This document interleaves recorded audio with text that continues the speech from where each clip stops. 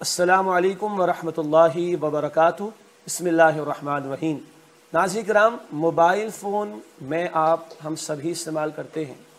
اکثر ہمارے mobile phone پر مسڈ کال رہ جاتی ہے، مگر ہم اسے رہنے نہیں دیتے۔ ایک ایک مسڈ کال کو آنسر کرتے ہیں، جواب دیتے ہیں۔ جب تک مسڈ کال کا جواب نہ دے دیں، ان تمام کالز کا جواب نہ دے دیں ہمیں چین اور سکون نہیں آتا۔ ایک کال روزانہ پانچ مرتبہ آتی ہے میرے اور آپ اور اس کائنات کے رب اور خالق کی طرف سے۔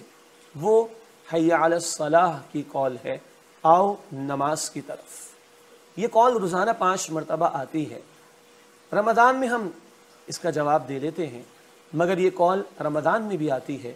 یہ کال رمضان کے علاوہ بھی آتی ہے۔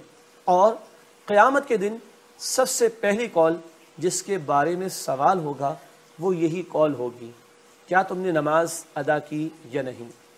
کیا آپ اور میں باقاعدہ اس کال کا جواب دیتے ہیں یا یہ مسٹ ہی پڑی رہ جاتی ہے؟ قیامت کے دن سب سے پہلے اسی کال کے بارے میں سوال ہوگا۔ یہ بھی جان لیجیے، قرآن نے بتایا سورة المدثر آیت نمبر 42-43 میں جنت والے جہنم والوں سے پوچھیں گے، ما سلککم فی سقر؟ تمہیں کس شے نے جہنم میں ڈال دیا؟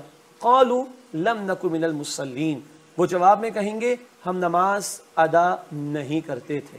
یہ وہ اہم ترین کال ہے جس کے بارے میں سب سے پہلے سوال ہوگا قیامت کے دن۔ ہم نبی کریم صلی اللہ علیہ وسلم کی شفاعت کے امیدوار ہیں۔